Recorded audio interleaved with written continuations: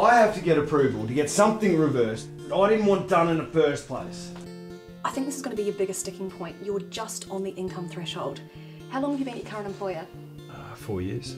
What's an Apprev cost now? It's 10 grand. And that's just to apply. Where can you afford that? Women should be in charge of their own bodies, and men should be in charge of theirs. We tried that. And then they brought out the death penalty for abortions. The Protection of Unborn Children Act just cuts out the middleman. I mean, I just had my balls fondled. We'll be going through the submission on behalf of Mr Thomas Bratton for an approved reversal to his mandatory vas deferens silencing pursuant to Section 2 of the Protection of Unborn Children Act.